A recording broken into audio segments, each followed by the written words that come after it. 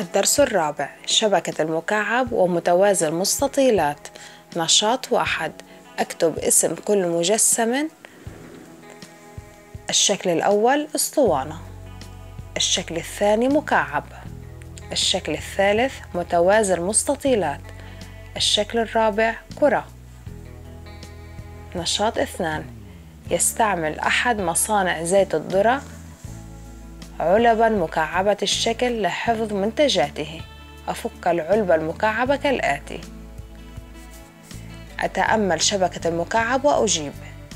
عدد الأوجه يساوي ستة أوجه وشكل كل منها مربع. عدد الرؤوس ثمانية رؤوس. عدد الأحرف 12 حرفا. نشاط ثلاثة. ألف أكمل رسم شبكة المكعب. ب أقص الشبكة بعد رسمها. ج أبني من الشبكة مكعبا. نشاط أربعة نشاط تعاوني. نقوم بفك صندوق من الكرتون على شكل متوازي مستطيلات كما يأتي. تسمى هذه الشبكة شبكة متوازي المستطيلات.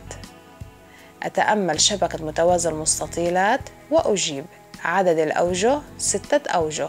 وشكل كل وجه مستطيل.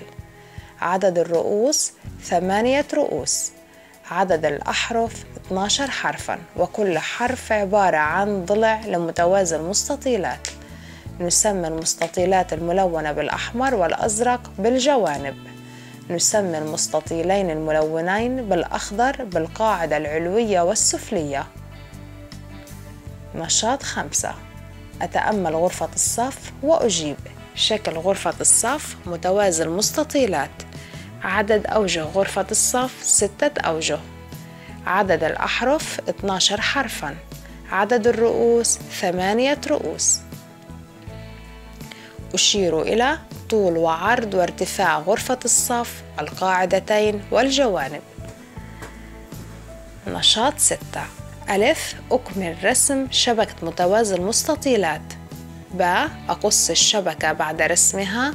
ج أبني من الشبكة متوازي مستطيلات.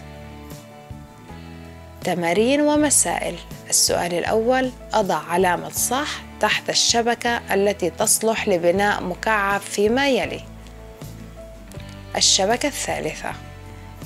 السؤال الثاني أستعين بورقة الرسم البياني لرسم شبكة لمكعب طول حرفه أربعة سنتي.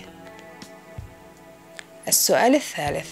أوضح أي الشبكتين يمكن أن نكون مستوازي مستطيلات. الشبكة الأولى. لأن كل المستطيلين متقابلين لهما لأبعاد نفسها. السؤال الرابع.